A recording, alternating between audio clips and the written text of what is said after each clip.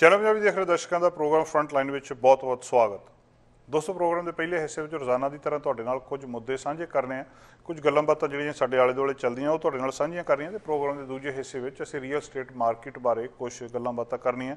Vancouver ਦੇ ਵਿੱਚ BC ਦੇ ਵਿੱਚ ਅ, ਫਰੇਜ਼ਰ ਵੈਲੀ ਦੇ ਵਿੱਚ ਇੱਥੇ ਸਾਰੇ ਇਲਾਕੇ ਦੇ ਵਿੱਚ ਕੀ ਪੋਜੀਸ਼ਨ ਹੈ ਇਸ ਵੇਲੇ ਘਰਾਂ ਦੀ ਮਾਰਕੀਟ ਦੀ? ਕੀ ਹੁਣ ਘਰ ਵਿਕਣੇ ਘਟ ਗਿਆ ਮਾਰਕੀਟ ਠੰਡੀ ਹੋ ਗਈ ਹੈ ਜਾਂ ਰੁਕ ਗਈ ਆ? ਜਾਂ ਆਫਰਸ ਆਉਣੀਆਂ ਘਟ ਗਈਆਂ? ਤੇ ਕੀ ਹੁਣ ਸਹੀ ਸਮਾਂ ਆ ਕਿਸੇ ਬੰਦੇ ਨੇ ਜਿਹਨੇ ਘਰ ਖਰੀਦਣਾ ਜਾਂ ਇਹ ਜਿੱਥੇ ਰੁਕੀ ਮਾਰਕੀਟ ਹੌਲੀ-ਹੌਲੀ ਪਿੱਛੇ ਨੂੰ ਵੀ ਮੁੜ ਸਕਦੀ ਹੈ। ਇਹਦੇ ਬਾਰੇ ਕੁਝ ਗੱਲਾਂ ਬਾਤਾਂ ਆਪਾਂ ਡਾਕਟਰ ਗੁਰਵਿੰਦਰ ਸਿੰਘ ਢਾਲੀਵਾਲ ਉਹਨਾਂ ਦੇ ਨਾਲ ਆਪਾਂ ਗੱਲਬਾਤ ਕਰਾਂਗੇ ਪ੍ਰੋਗਰਾਮ ਦੇ ਦੂਜੇ ਹਿੱਸੇ ਵਿੱਚ। ਇੱਕ ਖਬਰ ਜਿਹੜੀ ਅੱਜ ਧਿਆਨ ਦੇ ਵਿੱਚ ਆਈ ਆ, ਜਦੋਂ ਕੋਵਿਡ ਜਦੋਂ ਦਾ ਆਇਆ, ਇਹਦੇ ਤੋਂ ਬਾਅਦ ਬਹੁਤ ਸਾਰੇ ਤੌਰ ਤਰੀਕੇ ਬਦਲ ਗਏ ਆ, ਵਿਆਹਾਂ ਦਾ ਤਰੀਕਾ ਵੀ ਬਦਲ ਗਿਆ, ਛੋਟੇ ਵਿਆਹ ਹੋਣੇ ਚਾਹੀਦੇ ਆ, ਵਿਆਹ ਕਿੱਦਾਂ ਦੇ ਹੋਣੇ ਚਾਹੀਦੇ ਆ, ਇਹਦੇ ਬਾਰੇ ਵੀ ਕਈ ਗੱਲਾਂ ਬਾਤਾਂ ਚੱਲੀਆਂ। ਪਰ ਇੱਕ ਵੱਖਰਾ ਵਿਆਹ ਚਰਚਾ ਦੇ ਵਿੱਚ ਆਇਆ ਐਬਸਫੋਰਡ ਦੇ ਵਿੱਚ, ਜਿਹੜਾ ਇਸ ਗੱਲ ਦੀ ਉਦਾਹਰਨ ਵੀ ਆ ਕਿ ਹਸਪੀਟਲਸ ਜਿਹੜੇ ਨੇ ਉਹ ਕਿਸ ਤਰ੍ਹਾਂ ਸਪੋਰਟ ਕਰਦੇ ਆ ਪੇਸ਼ੈਂਟ ਨੂੰ ਉਹਨਾਂ ਦੀਆਂ ਭਾਵਨਾਵਾਂ ਦੀ ਕਦਰ ਕਿਸ ਤਰੀਕੇ ਨਾਲ ਕਰਦੇ ਆ। ਐਬਸਫੋਰਡ ਰੀਜਨਲ ਹਸਪੀਟਲ ਦੇ ਇੱਕ ਕਮਰੇ ਦੇ ਵਿੱਚ ਇੱਕ ਵਿਆਹ ਕੀਤਾ ਗਿਆ। ਮਾਮਲਾ ਕੀ ਸੀ? ਕਿ ਅਸਲ ਦੇ ਵਿੱਚ ਇੱਕ ਔਰਤ ਬਿਮਾਰ ਆ, ਮਰ ਰਹੀ ਆ, ਉਹਨੂੰ ਕੈਂਸਰ ਹੋ ਗਿਆ, ਪਰ ਉਹਦੀ ਇੱਛਾ ਆ ਕਿ ਉਹ ਆਪਣੀ ਕੁੜੀ ਦਾ ਵਿਆਹ ਦੇਖ ਸਕੇ। ਉਹ ਬਾਹਰ ਨਹੀਂ ਜਾ ਸਕਦੀ, ਉਹਦੀ ਕੁੜੀ ਵਿਆਹ ਕਰਾਉਣਾ ਚਾਹੁੰਦੀ ਆ ਉਹਦੀ ਕੁੜੀ ਦਾ ਵਿਆਹ ਉਹਦੇ ਸਾਹਮਣੇ ਉਸ ਹਸਪੀਟਲ ਦੇ ਵਿੱਚ ਕੀਤਾ ਗਿਆ ਔਰ ਹਸਪੀਟਲ ਨੇ ਇਸ ਗੱਲ ਨੂੰ ਅਲਾਉ ਕੀਤਾ।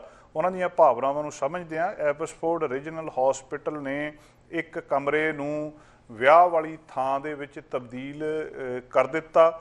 ਮੁੰਡਾ ਕੁੜੀ ਤੇ ਕੁੜੀ ਦੇ ਮਾਪੇ ਉਹਨਾਂ ਦੀ ਹਾਜ਼ਰੀ ਦੇ ਵਿੱਚ ਇਹ ਵਿਆਹ ਹੋਇਆ ਔਰ ਇਸ ਵਿਆਹ ਹੋਣ ਤੋਂ ਬਾਅਦ ਅ, 16 ਘੰਟੇ ਬਾਅਦ ਉਸ ਔਰਤ ਦੀ ਮੌਤ ਹੋ ਗਈ। ਪਰ ਉਹ ਜਿਹੜੀ ਉਹਦੀ ਕੁੜੀ ਆ, ਜਿਹਦਾ ਵਿਆਹ ਸੀ, ਉਹ ਇਸ ਗੱਲ ਦੇ ਉੱਤੋਂ ਦੁੱਖ ਤੇ ਖੁਸ਼ੀ ਦੋਵਾਂ ਦੇ ਵਿੱਚ ਗੱਲਬਾਤ ਕਰ ਰਹੀ ਹੈ। ਉਹ ਕਹਿੰਦੀ, ਮੈਨੂੰ ਇਸ ਗੱਲ ਦਾ ਬਹੁਤ ਦੁੱਖ ਆ ਕਿ ਮੈਂ ਆਪਣੀ ਮਾਂ ਨੂੰ ਗਵਾ ਦਿੱਤਾ, ਰੋਬਨ ਸੈਨਫੋਰਡ ਪਰ ਉਹ ਕਹਿੰਦੀ, ਇਸ ਗੱਲ ਦਾ ਮੈਨੂੰ ਖੁਸ਼ੀ ਵੀ ਆ ਕਿ ਹਸਪੀਟਲ ਨੇ ਮੇਰਾ ਸਾਥ ਦਿੱਤਾ ਤੇ ਮੈਂ ਇੱਥੇ ਇਸ ਹਸਪੀਟਲ ਦੇ ਇਸ ਕਮਰੇ ਦੇ ਵਿੱਚ ਵਿਆਹ ਕਰ ਸਕੀ ਤੇ ਮੇਰੀ ਮਾਂ ਨੇ ਉਹ ਆਪਣੇ ਅੱਖੀਂ ਇਸ ਵਿਆਹ ਨੂੰ ਦੇਖਿਆ। ਸੋ ਪਹਿਲੀ ਵਾਰ ਇਹ ਆਪਣੇ ਆਪ ਦੇ ਵਿੱਚ ਘਟਨਾ ਵਾਪਰੀ ਆ ਕਿ ਚਾਰ ਜਣਿਆਂ ਦਾ ਵਿਆਹ ਹਸਪੀਟਲ ਦੇ ਇੱਕ ਕਮਰੇ ਵਿੱਚ ਹੋਇਆ।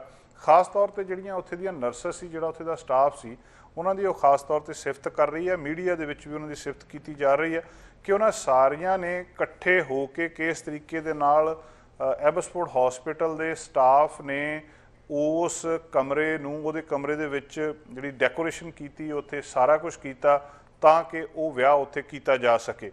ਤੇ 16 ਘੰਟੇ ਤੋਂ ਬਾਅਦ ਜਦੋਂ ਇਹ ਵਿਆਹ ਹੋਇਆ 58 ਸਾਲਾ ਉਹਦੀ ਮਾਤਾ ਚੜ੍ਹਾਈ ਕਰ ਗਈ, ਉਹ ਗੁਜ਼ਰ ਗਈ। ਪਰ ਇਸ ਗੱਲ ਦੀ ਚਰਚਾ ਅੱਜ ਅਖਬਾਰਾਂ ਦੇ ਵਿੱਚ ਹੋਈ ਆ ਕਿ ਜਦੋਂ ਕਿਸੇ ਦੀਆਂ ਭਾਵਨਾਵਾਂ ਦੀ, ਕਿਸੇ ਦੀ ਇਮੋਸ਼ਨਸ ਦੀ ਗੱਲਬਾਤ ਆਉਂਦੀ ਆ, ਤਾਂ ਇਹ ਸਾਰਾ ਸਿਸਟਮ ਆਪਣੇ ਨਿਯਮਾਂ ਨੂੰ ਇੱਧਰ ਉੱਧਰ ਕਰਕੇ ਵੀ ਉਸ ਵਿਅਕਤੀ ਦੀ, ਉਸ ਮਰੀਜ਼ ਦੀ ਕਦਰ ਕਰਦਾ ਆ, ਉਹਦੀਆਂ ਭਾਵਨਾਵਾਂ ਦੀ ਕਦਰ ਕਰਦਾ ਆ ਤੇ ਉਹਦੇ ਲਈ ਸਟਾਫ ਵੀ ਜਿਹੜਾ ਫਿਰ ਕੰਮ ਕਰਕੇ ਖੁਸ਼ੀ ਮਹਿਸੂਸ ਕਰਦਾ। ਇਸ ਵਿਆਹ ਦੀ ਅੱਜ ਕਾਫੀ ਚਰਚਾ ਹੋ ਰਹੀ ਆ ਡੈਲਟਾ ਸਰੀ ਦੇ ਨਾਲ ਲੱਗਦਾ ਸ਼ਹਿਰ, ਇਸ ਸ਼ਹਿਰ ਦੇ ਵਿੱਚ ਡੈਲਟਾ ਹਾਈ ਸਕੂਲ ਇੰਸਟ੍ਰਕਟਰ ਆ, ਉਹਨੂੰ ਬੈਨ ਕੀਤਾ ਗਿਆ ਟੀਚਿੰਗ ਤੋਂ, ਕਿਉਂਕਿ ਉਹਨੂੰ ਫੜ ਲਿਆ ਗਿਆ ਸੀ ਪਿਛਲੇ ਸਮੇਂ ਦੇ ਵਿੱਚ ਆਨਲਾਈਨ ਲਗਭਗ 4 ਸਾਲ ਪਹਿਲਾਂ। ਸਰੀ ਕਰੀਪ ਕੈਚਰਸ ਨੇ ਇੱਕ ਸਟਿੰਗ ਆਪਰੇਸ਼ਨ ਦੇ ਵਿੱਚ। BC commissioner for teacher regulation ਨੇ ਉਹਦਾ ਸਾਈਮਨ ਵਿਲੀਅਮਸ ਨਾਂ ਦੇ ਇਸ ਵਿਅਕਤੀ ਦਾ ਸਰਟੀਫਿਕੇਟ ਕੈਨਸਲ ਕਰ ਦਿੱਤਾ। ਉਹਦੀ ਸਰਟੀਫਿਕੇਟ ਆਫ ਕੁਆਲੀਫਿਕੇਸ਼ਨ ਕੈਨਸਲ ਕਰ ਦਿੱਤਾ। 2017 ਦੇ ਵਿੱਚ ਇਹ ਵਿਅਕਤੀ ਨੇ ਇੱਕ ਐਡ ਦਿੱਤੀ ਸੀ ਉਹਦੇ ਉੱਤੇ ਕ੍ਰੇਗਲਿਸਟ ਦੇ ਉੱਤੇ ਕੈਜੂਅਲ ਐਨਕਾਊਂਟਰ ਦੇ ਨਾਂ ਥੱਲੇ। ਉਹਦੇ ਤੋਂ ਬਾਅਦ ਜਿਹੜੇ ਸਰੀ ਕਰੀਪ ਕੈਚਰ ਆ, ਤੁਸੀਂ ਜਾਣਦੇ ਆ, ਇਹ ਉਹਨਾਂ ਲੋਕਾਂ ਨੂੰ ਫੜਦੇ ਆ ਜਿਹੜੇ ਗਲਤ ਕਿਸਮ ਦੇ ਨਾਲ ਅੰਡਰ ਏਜ ਛੋਟੇ ਨਿਆਣਿਆਂ ਦੇ ਨਾਲ, ਕੁੜੀਆਂ ਦੇ ਨਾਲ ਆਪਣੇ ਸੰਬੰਧ ਬਣਾਉਂਦੇ ਆ ਜਾਂ ਆਨਲਾਈਨ ਉਹਨਾਂ ਨੂੰ ਲੱਭਦੇ ਫਿਰਦੇ ਆ। ਇਹਨਾਂ ਨੇ, ਇਸ ਵਿਅਕਤੀ ਨੇ ਜਦੋਂ ਇਸ ਵਿਅਕਤੀ ਨੇ ਉਹਦੇ ਉੱਤੇ ਕੰਟੈਕਟ ਕੀਤਾ, ਸਰੀ ਕ੍ਰੈਪ ਕਰੀਪ ਕੈਚਰ ਨੇ, ਇੱਕ ਆਪਣੇ ਆਪ ਨੂੰ 18 ਸਾਲਾਂ ਦੀ ਕੁੜੀ ਬਣ ਕੇ ਇਹਦੇ ਨਾਲ ਚੈਟ ਸ਼ੁਰੂ ਕੀਤੀ, ਬਾਅਦ ਦੇ ਵਿੱਚ ਦੱਸਿਆ ਕਿ ਮੇਰੀ ਉਮਰ 13 ਸਾਲ ਆ। ਤੇ ਅ, ਸਿਆਰਾ ਉਹਦਾ ਨਾਂ ਇੱਕ ਜਿਹੜਾ ਦੱਸਿਆ ਗਿਆ ਸੀ ਉਹ ਕੁੜੀ ਇਹ ਕਿਸੇ ਕੁੜੀ ਦੀ ਉਹਨਾਂ ਨੇ ਫੋਟੋ ਵੀ ਇਹਨੂੰ ਸ਼ੇਅਰ ਕੀਤੀਆਂ। ਉਹਦਾ ਚਿਹਰੇ ਦਾ ਹੇਠਲਾ ਹਿੱਸਾ ਸੀ ਤੇ ਉਹਨੇ ਜੀਭ ਬਾਹਰ ਕੱਢੀ ਸੀ। ਉਹਨਾਂ ਨੇ ਇਹਨੂੰ ਫੋਟੋ ਦਿਖਾਈਆਂ ਕਿ ਮੈਂ ਆਹ ਕੁੜੀ ਆ 13 ਸਾਲ ਮੇਰੀ ਉਮਰ ਆ ਤੇ ਮੈਂ ਤੈਨੂੰ ਮਿਲਣਾ ਚਾਹੁੰਦੀ ਆ। ਤੇ ਇਹ ਜਿਹੜਾ ਟੀਚਰ ਸੀ ਇਹ ਵਿਅਕਤੀ ਤਿਆਰ ਹੋ ਗਿਆ ਰਾਜੀ ਹੋ ਗਿਆ ਉਹਦੇ ਨਾਲ ਗਲਤ ਕਿਸਮ ਦੀਆਂ ਗੱਲਾਂ ਕਰਨ ਲੱਗ ਪਿਆ ਤੇ ਇੱਛਾ ਪ੍ਰਗਟ ਕੀਤੀ ਕਿ ਮੈਂ ਤੈਨੂੰ ਮਿਲਣਾ ਚਾਹੁੰਦਾ ਆ। ਬਹੁਤ ਸਾਰੇ ਇਹਨਾਂ ਦੇ ਸਵਾਲ ਜਵਾਬ ਹੋਏ ਫੋਨ ਨੰਬਰ ਵੀ ਐਕਸਚੇਂਜ ਹੋਏ ਉਸ ਤੋਂ ਬਾਅਦ ਟੈਕਸਟ ਵੀ ਹੋਏ। ਤੇ ਅੰਤ ਦੇ ਵਿੱਚ ਫੈਸਲਾ ਕੀਤਾ ਗਿਆ ਕਿ 10:30 ਵਜੇ ਰਾਤ ਨੂੰ ਟਿਮ ਹਾਰਟਨ ਦੇ ਉੱਤੇ ਨਵੰਬਰ 27 2017 ਨੂੰ ਉਸ ਕੁੜੀ ਨੇ, ਜਿਹੜੀ ਕਿ ਫਰਜ਼ੀ ਕੁੜੀ ਸੀ, ਜਿਹੜੀ ਕਿ ਕੁੜੀ ਹੈ ਹੀ ਨਹੀਂ ਅਸਲ ਦੇ ਵਿੱਚ, ਕਰੀਪ ਕੈਚਰ ਜਿਹੜੇ ਉਹ ਮੁੰਡੇ ਸੀ, ਉਹ ਇਹ ਗੱਲਬਾਤ ਕਰ ਰਹੇ ਸੀ, ਉਹਦੇ ਨਾਲ ਮਿਲਣ ਦਾ ਫੈਸਲਾ ਕਰ ਦਿੱਤਾ ਗਿਆ। ਟੈਕਸਟ ਕੀਤਾ ਗਿਆ ਕਿ ਫਲਾਣੀ ਫਲਾਣੀ ਥਾਂ ਦੇ ਉੱਤੇ ਤੂੰ ਟਿਮ ਹਾਰਟਨ ਦੇ ਉੱਤੇ ਆ ਜਾਣਾ ਜਦੋਂ ਉੱਥੇ ਪਹੁੰਚਿਆ ਤੇ ਉਹਦੇ ਵਿੱਚ ਉਹਨੇ ਕਿਹਾ ਵੀ ਨਿਸ਼ਾਨੀ ਮੇਰੀ ਇਹ ਹੋਊਗੀ ਕਿ ਮੈਂ ਹੌਟ ਚਾਕਲੇਟ ਆਰਡਰ ਕਰੂੰਗਾ।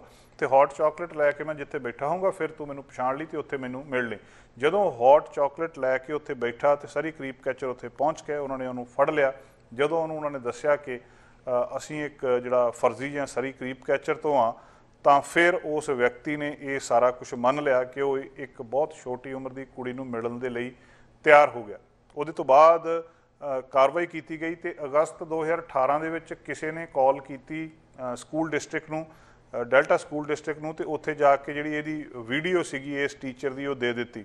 ਉਹਦੇ ਤੋਂ ਬਾਅਦ ਉਹਨੂੰ ਸਸਪੈਂਡ ਕਰ ਦਿੱਤਾ ਗਿਆ, ਬਾਅਦ ਦੇ ਵਿੱਚ ਉਹਨੇ ਰਿਜ਼ਾਈਨ ਕਰ ਦਿੱਤਾ ਗਿਆ ਤੇ ਹੁਣ ਉਹਦੀ ਜਿਹੜਾ ਇਹਨੂੰ ਪੜਾਉਣ ਦੇ ਉੱਤੇ ਉਹਦੀ ਤਾ ਉਮਰ ਦੇ ਲਈ ਪਾਬੰਦੀ ਲੱਗ ਗਈ ਹੈ ਕਿ ਉਹ ਕਦੇ ਵੀ ਪੜਾ ਨਹੀਂ ਸਕੂਗਾ ਤੇ ਨਾ ਹੀ ਕਦੇ ਉਹ ਆਪਣੀ ਇਸ ਕੁਆਲੀਫਿਕੇਸ਼ਨ ਦੇ ਲਈ ਅਪਲਾਈ ਕਰ ਸਕਦਾ ਦੁਬਾਰਾ ਇਸ ਟੀਚਿੰਗ ਦੇ ਲਈ, ਉਹ ਇਸ ਕੈਂਸਲੇਸ਼ਨ ਦੇ ਲਈ ਟੀਚਿੰਗ ਸਰਟੀਫਿਕੇਟ ਦੀ ਕੈਂਸਲੇਸ਼ਨ ਦੇ ਲਈ ਆਪਣੇ ਆਪ ਵੀ ਸਹਿਮਤ ਹੋ ਗਿਆ ਤੇ ਇਸ ਗੱਲ ਲਈ ਵੀ ਉਹਨੇ ਹਾਮੀ ਭਰੀ ਹੈ ਕਿ ਮੈਂ ਕਦੇ ਵੀ ਇਹ ਸਰਟੀਫਿਕੇਟ ਦੇ ਲਈ ਦੁਬਾਰਾ ਅਪਲਾਈ ਨਹੀਂ ਕਰੂੰਗਾ। ਤੇ ਕਿਸੇ ਵੀ ਸਕੂਲ ਦੇ ਵਿੱਚ ਕਿੰਡਰਗਾਰਟਨ ਤੋਂ ਲੈ ਕਿੰਡਰਗਾਰਟਨ ਤੋਂ ਲੈ ਕੇ 12ਵੀਂ ਤੱਕ ਦੇ ਐਜੂਕੇਸ਼ਨ ਸਿਸਟਮ ਦੇ ਵਿੱਚ ਮੈਂ ਕਦੇ ਵੀ ਜਿਹੜਾ ਕਿੰਡਰਗਾਰਟਨ ਤੋਂ 12 ਤੱਕ ਮੈਂ ਅਪਲਾਈ ਨਹੀਂ ਕਰੂੰਗਾ। ਆਪਣੇ ਆਪ ਦੇ ਵਿੱਚ ਇੱਕ ਇਹ ਘਟਨਾ ਕਾਫੀ ਚਰਚਾ ਦੇ ਵਿੱਚ ਆ ਐਡਾ ਸਖਤ ਫੈਸਲਾ ਕਿਸੇ ਦੇ ਕੋਲੋਂ ਉਹਦਾ ਜਿਹੜਾ ਸਰਟੀਫਿਕੇਟ ਆਫ ਟੀਚਿੰਗ ਆ, ਉਹਨੂੰ ਕੈਨਸਲ ਕਰ ਦੇਣਾ। ਪਰ ਦੂਜੇ ਪਾਸੇ ਜਿਹੜਾ ਜਿੰਨਾ ਵੱਡਾ ਕ੍ਰਾਈਮ ਇਹ ਲੋਕ ਕਰ ਰਹੇ ਆ ਇਹਦੇ ਉੱਤੇ ਵੀ ਗੱਲਬਾਤ ਜਿਹੜੀ ਹੋ ਰਹੀ ਹੈ ਔਰ ਸਾਰੀ ਕਰੀਪ ਕੈਚਰ ਪਿਛਲੇ ਸਮੇਂ ਦੇ ਵਿੱਚ ਕਾਫੀ ਸਰਗਰਮ ਆ। ਉਹ ਲੋਕ ਜਿਹੜੇ ਇੰਟਰਨੈਟ ਦੇ ਉੱਤੇ ਆਨਲਾਈਨ ਜਾ ਕੇ ਘੱਟ ਉਮਰ ਦੀਆਂ ਕੁੜੀਆਂ ਨੂੰ ਲੱਭਦੇ ਆ ਤੇ ਫਿਰ ਉਹਨਾਂ ਨੂੰ ਮਿਲਦੇ ਆ। ਉਹਨਾਂ ਨੂੰ ਬਹੁਤ ਸਾਰਿਆਂ ਨੂੰ ਇਹ ਐਕਸਪੋਜ਼ ਕਰ ਚੁੱਕੇ ਆ ਤੇ ਇਸ ਟੀਚਰ ਦੀ ਜਿਹੜੀ ਸਰਟੀਫਿਕੇਸ਼ਨ ਸੀ, ਇਹਦੀ ਕੈਂਸਲੇਸ਼ਨ ਹੁਣ ਕਰ ਦਿੱਤੀ ਗਈ ਹੈ। ਇਮੀਗ੍ਰੇਸ਼ਨ ਦਾ ਮਾਮਲਾ ਸਾਡੇ ਲਈ ਹਮੇਸ਼ਾ ਦਿਲਚਸਪੀ ਦਾ ਮਾਮਲਾ ਰਹਿੰਦਾ ਤੇ ਅਸੀਂ ਇਹਨੂੰ ਸਮਝਣ ਦਾ ਯਤਨ ਕਰਦੇ ਰਹਿੰਦੇ ਹਾਂ ਕਿ ਕੈਨੇਡਾ ਦੇ ਵਿੱਚ ਇਮੀਗ੍ਰੇਸ਼ਨ ਕਿੱਦਾਂ ਹੁੰਦੀ ਆ, ਕੀ ਇਹਦਾ ਪ੍ਰੋਸੈਸ ਆ, ਖਾਸ ਕਰ ਕੈਨੇਡਾ ਤੋਂ ਬਾਹਰ ਬੈਠੇ ਲੋਕ ਇਹਦੇ ਬਾਰੇ ਜਾਣਨਾ ਚਾਹੁੰਦੇ ਹੁੰਦੇ ਆ ਤੇ ਇਹਦੇ ਬਾਰੇ ਅਪਡੇਸ਼ਨ ਕੀ ਹੁੰਦੀ ਆ।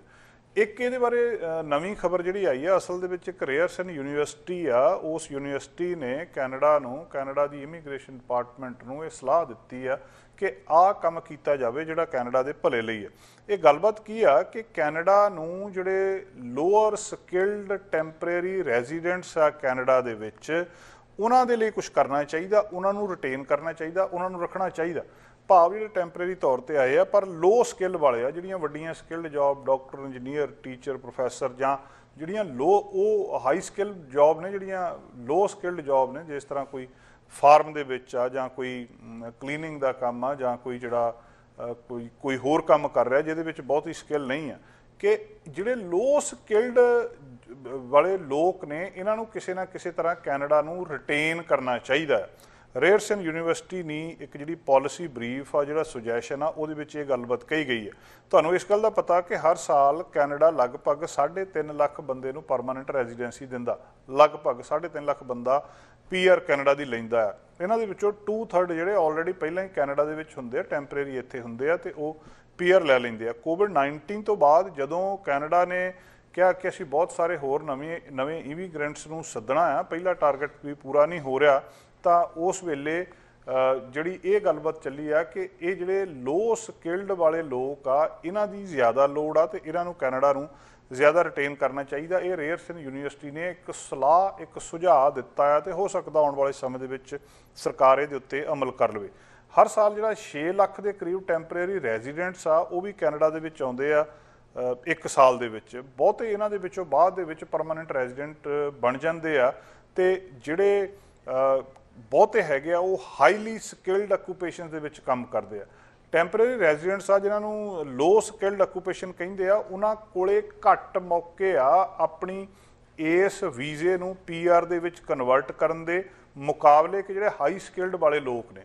ਸੋ ਕਿਹਾ ਇਹ ਜਾ ਰਿਹਾ ਕਿ ਜਿਹੜੇ ਇਹ ਲੋ ਸਕਿਲਡ ਜੌਬਸ ਵਾਲੇ ਲੋਕ ਨੇ, ਇਹਨਾਂ ਨੂੰ ਜ਼ਿਆਦਾ ਮੌਕਾ ਦੇਣਾ ਚਾਹੀਦਾ ਤਾਂ ਕਿ ਇਹ ਜ਼ਿਆਦਾ ਪੀਆਰ ਕਰ ਸਕਣ ਤੇ ਇਹਨਾਂ ਦੀ ਇਕਨੋਮੀ ਨੂੰ ਲੋੜ ਵੀ ਆ। ਬਹੁਤ ਸਾਰੀਆਂ ਜੌਬਸ ਜਿਹੜੀਆਂ ਗਰੋਸਰੀ ਸਟੋਰ ਕਲਰਕਸ ਦੀਆਂ ਆ ਹਸਪੀਟਲ ਦੇ ਵਿੱਚ ਹੈਗੀਆਂ ਆ, ਜਿਹੜੀਆਂ ਕਲੀਨਰ ਦੀਆਂ ਆ ਜਾਂ ਫਾਰਮ ਵਰਕਰਸ ਆ, ਇਹਨਾਂ ਦੀ ਡਿਮਾਂਡ ਵੀ ਜ਼ਿਆਦਾ ਆ। ਆਉਣ ਵਾਲੇ ਸਮੇਂ ਦੇ ਵਿੱਚ ਇਹ ਤਾਂ ਜਿਹੜੀ ਪ੍ਰੋਜੈਕਸ਼ਨ ਕੀਤੀ ਜਾ ਰਹੀ ਆ ਕਿ ਇਹਨਾਂ ਦੀ ਡਿਮਾਂਡ ਵਧਣੀ ਆ। ਪਰ ਇਹਨੂੰ ਉਹ ਆਉਣ ਵਾਲੇ 10 ਸਾਲਾਂ ਦੀ ਗੱਲਬਾਤ ਕੀਤੀ ਜਾ ਰਹੀ ਆ। ਪਰ ਦੂਜੀ ਜਿਹੜੀ ਆ ਇਹ ਕਿਹਾ ਜਾ ਰਿਹਾ ਕਿ ਇਹਨਾਂ ਦੀ ਮੰਗ ਹੌਲੀ-ਹੌਲੀ ਵਧਣੀ ਹੈ, ਜਿਹੜੀਆਂ ਹਾਈ ਸਕਿਲਡ ਨੇ, ਉਹਨਾਂ ਦੀ ਮੰਗ ਜ਼ਿਆਦਾ ਵਧਣੀ ਹੈ। ਜਿਹੜੀ ਦੂਜੀਆਂ ਜਿਹੜੀਆਂ ਜੌਬਸ ਹੈਗੀਆਂ ਉਹਨਾਂ ਖੇਤਰਾਂ ਦੇ ਵਿੱਚ। ਹੁਣ ਕੀਤਾ ਕੀ ਜਾ ਰਿਹਾ ਕਿ ਜਿਹੜੀ ਕੈਨੇਡਾ ਦੀ ਇਹ ਸੁਜੈਸ਼ਨ ਕੀ ਦਿੱਤਾ ਜਾ ਰਿਹਾ ਕਿ ਏਜਿੰਗ ਪੋਪੂਲੇਸ਼ਨ ਆ। ਏਜਿੰਗ ਪੋਪੂਲੇਸ਼ਨ ਦਾ ਮਤਲਬ ਇਹ ਆ ਕਿ ਪੈਨਸ਼ਨ ਦੇ ਉੱਤੇ ਲੋਕ ਜ਼ਿਆਦਾ ਹੋ ਜਾਣੇ ਆ ਜਾਂ ਬੱਚੇ ਹੋਣੇ ਆ, ਜਿਹਨਾਂ ਨੂੰ ਸਰਕਾਰ ਨੂੰ ਬੈਨੀਫਿਟ ਦੇਣੇ ਪੈਂਦੇ ਆ, ਕੰਮ ਕਰਨ ਵਾਲੇ ਘੱਟ ਹੈਗੇ ਆ। ਉਸ ਵੇਲੇ ਫਿਰ ਕੈਨੇਡਾ ਨੂੰ ਜਿਹੜੀ ਲੋੜ ਆ ਇਸ ਵੇਲੇ ਇਹਨਾਂ ਕੰਮ ਕਰਨ ਵਾਲੇ ਲੋਕਾਂ ਦੀ, ਉਹਨਾਂ ਨੂੰ ਕੋਈ ਨਾ ਕੋਈ ਤਰੀਕਾ ਕ੍ਰੀਏਟ ਕਰਨਾ ਚਾਹੀਦਾ ਕਿ ਲੋਅਰ ਸਕਿਲਡ ਟੈਂਪਰੇਰੀ ਵਰਕਰਸ ਦੇ ਪੀਆਰ ਹੋਣ ਦੇ ਮੌਕੇ ਵੱਧ ਜਾਣ। ਤੇ ਜ਼ਿਆਦਾ ਲੋਕ ਜਿਹੜੇ ਆ ਇੱਥੇ ਆ ਸਕਣ, ਬਹੁਤ ਸਾਰੇ ਲੋਕ ਪਹਿਲਾਂ ਵੀ ਆਉਂਦੇ ਆ। ਕੈਨੇਡਾ ਜਿਹੜਾ ਜਿਹੜੇ ਵੱਖਰੇ ਵੱਖਰੇ ਕਲਾਸ ਦੇ ਐਪਲੀਕੈਂਟਸ ਹੈਗੇ ਆ, ਉਹਨਾਂ ਨੂੰ ਅਪਲਾਈ ਕਰਦਾ ਆ। ਸੱਦਦਾ ਹੈ, ਇੱਥੇ ਉਹ ਅਪਲਾਈ ਕਰਦੇ ਆ। ਪਰ ਉਹਦੇ ਤੋਂ ਬਾਅਦ ਗੱਲਬਾਤ ਇਹ ਦੇਖਣ ਦੇ ਵਿੱਚ ਆਉਂਦੀ ਆ ਕਿ ਜਿਹੜੀਆਂ ਇੱਥੋਂ ਦੇ ਬੌਰਨ ਬੱਚੇ ਨੇ, ਉਹ ਇਹ ਬਹੁਤੀਆਂ ਇਸ ਕਿਸਮ ਦੀਆਂ ਜੌਬਸ ਕਰਨੀਆਂ ਨਹੀਂ ਚਾਹੁੰਦੇ। ਇਸ ਕਰਕੇ ਉੱਥੇ ਡਿਮਾਂਡ ਜਿਹੜੀ ਆ, ਉਹ ਜ਼ਿਆਦਾ ਵੱਧ ਰਹੀ ਆ। ਤੇ ਕਈ ਵਾਰੀ ਇਹ ਹੋ ਰਿਹਾ ਕਿ ਜਿਹੜੇ ਹਾਈ ਸਕਿਲਡ ਜੌਬਸ ਦੇ ਵਿੱਚ ਲੋਕ ਨੇ, ਉਹਨਾਂ ਨੂੰ ਕਿਉਂਕਿ ਲੋ ਸਕਿਲਡ ਜੌਬਸ ਦੇ ਵਿੱਚ ਮੰਗ ਬਹੁਤ ਜ਼ਿਆਦਾ ਆ, ਇਸ ਕਰਕੇ ਉਹ ਕੰਮ ਵੀ ਕਰਨੇ ਪੈਂਦੇ ਆ, ਭਾਵੇਂ ਕਿ ਉਹ ਹਾਈ ਸਕਿਲਡ ਜੌਬਸ ਦੇ ਵਿੱਚ ਆ ਕੇ ਪੀਆਰ ਲੈਂਦੇ ਆ ਪਰਮਨੈਂਟ ਰੈਜ਼ੀਡੈਂਸੀ ਲੈਂਦੇ ਆ, ਪਰ ਉਹ ਦੂਜੀਆਂ ਜੌਬਸ ਕਰਦੇ ਆ। ਪਰ ਹੁਣ ਇਸ ਵੇਲੇ ਇਹ ਗੱਲਬਾਤ ਜਿਹੜੀ ਆ ਰੇਅਰਸਨ ਯੂਨੀਵਰਸਿਟੀ ਕਹਿ ਰਹੀ ਆ ਕਿ ਕੈਨੇਡਾ ਨੂੰ ਜੇ ਇਹਨਾਂ ਨੇ ਆਪਣੀ ਇਮੀਗ੍ਰੇਸ਼ਨ ਸਿਸਟਮ ਨੂੰ ਠੀਕ ਠਾਕ ਰੱਖਣਾ ਆ, ਲੋਕਾਂ ਨੂੰ ਇੱਥੇ ਸੱਦ ਕੇ ਪੀਆਰ ਦੇਣੀ ਆ, ਤਾਂ ਉਹਦੇ ਵਿੱਚ ਜਿੱਦਾਂ ਕਿ ਪਹਿਲਾਂ ਜਿਹੜੇ ਹਾਈ ਸਕਿਲਡ ਜੌਬਸ ਵਾਲੇ ਆ, ਉਹ ਸਿੱਧੇ ਪੀਆਰ ਆ ਜਾਂਦੇ ਆ ਕਈ ਤਰੀਕੇ ਦੇ ਨਾਲ। ਲੋ ਸਕਿਲਡ ਵਾਲਿਆਂ ਨੂੰ ਜ਼ਿਆਦਾ ਮੌਕੇ ਦੇਣੇ ਚਾਹੀਦੇ ਆ, ਤਾਂ ਹੀ ਇਸ ਗੱਲ ਦੇ ਵਿੱਚ ਕੈਨੇਡਾ ਦੀ ਇਕਨੋਮੀ ਜਿਹੜੀ ਆ ਉਹ ਜ਼ਿਆਦਾ ਤਰੱਕੀ ਕਰ ਸਕਦੀ ਸਾਡਾ ਹਰ ਇੱਕ ਪ੍ਰੋਗਰਾਮ ਦੇਖਣ ਤੇ ਸਾਡੇ ਨਾਲ ਜੁੜਨ ਲਈ ਸਬਸਕ੍ਰਾਈਬ ਕਰੋ। ਚੈਨਲ ਪੰਜਾਬੀ ਤੇ ਨੋਟੀਫਿਕੇਸ਼ਨ ਲਈ ਬੈਲ ਆਈਕਨ ਵਾਲੇ ਬਟਨ ਤੇ ਕਲਿੱਕ ਕਰੋ।